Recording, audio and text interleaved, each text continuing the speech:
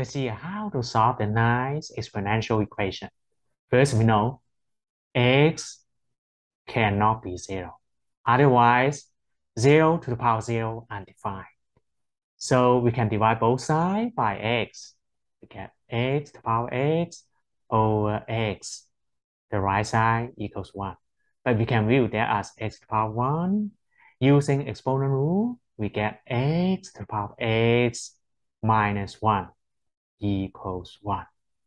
Before moving on, let's see how many ways we can make the exponent a to the power b equals 1. We know there's three ways.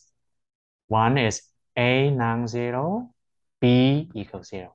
The second case, a equals 1, b is any number.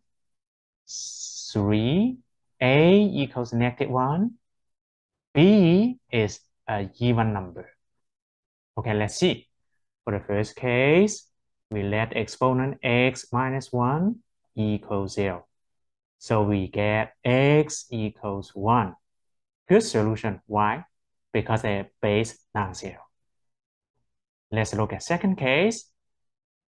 The base equals 1. So the x equals 1. Oh, same as the case 1. Let's look at the last case. We let the base equals negative 1. So x equals negative 1. Let's see the exponent is even or not. So x minus 1 equals negative 1 minus 1 equals negative 2. Yes, actually we can verify because negative 1 to the power negative 2 equals 1 over negative 1 squared. That is 1 over 1 so it's 1. So we get two solutions to the given equation. x equals 1 and x equals negative 1.